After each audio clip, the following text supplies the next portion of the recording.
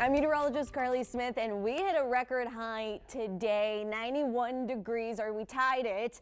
Uh, was last reached in 2006. We made it there at 407. So yes, if you were feeling hot, it was extra hot today. 96 the high in Alice, 95 Kingsville, 96 Falfurrias. At the beach, we made it to 78 Flower Bluff, 85 Rockport, 82.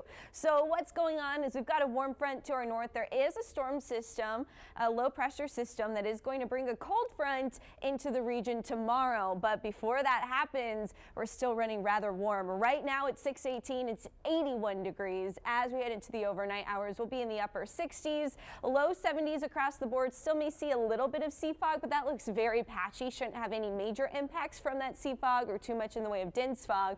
But don't forget tonight, we're also changing our clocks. So today your sunset right around the corner at 635, but tomorrow we're going to have the sunset at 736 and then we'll slowly see that sunset getting later and later until we kick off summer and our sunset's at 828, the longest day, of course. So uh, that is what we are looking at in terms of our sunrise sunset times.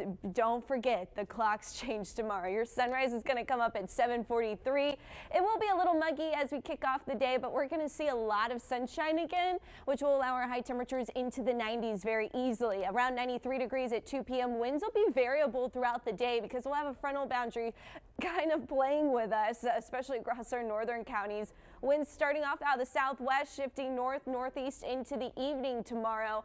93 again, the current record for tomorrow. That's was set in 1980. I think we'll make it to 94 here tomorrow in Corpus Christi, especially at the airport. Flower Bluff will have a run for 90 as well. Port Aransas 82, so it's going to be a rather warm one at the beach. 92 Sinton, 96 in Alice. Notice it's a little cooler through Beeville and Refugio. I mentioned a cold front. Here's what we're tracking. Wind is going to show that off pretty well. We'll have those winds again, kind of tricky. A brief offshore flow early tomorrow morning. We do have a small craft advisory for some breezy winds through 5 a.m. You see winds are lighter by 8 a.m. There's that front starting to impact our northern counties right around lunchtime. So temperatures may be slightly cooler behind the front, but this front really isn't going to be the big change in temperatures.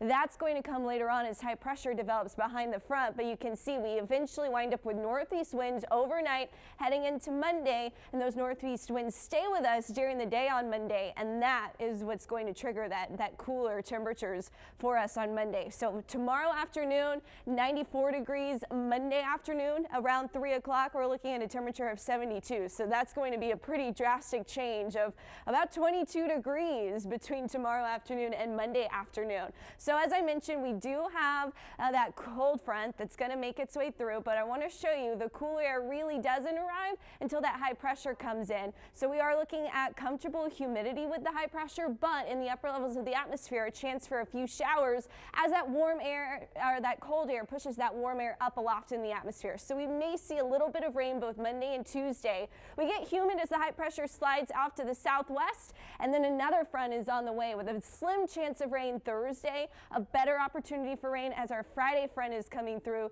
You'll see that there. Thursday, 80s will be your highs, and then as we head into Friday, it does look like we will see uh, temperatures falling into the 70s on St. Patrick's Day, a low chance for a few storms cooler next weekend with highs staying in the 60s. But tomorrow, record possible 94. And for those who may have trouble remembering the time change, we lose an hour of sleep tomorrow. I know, so unfortunate.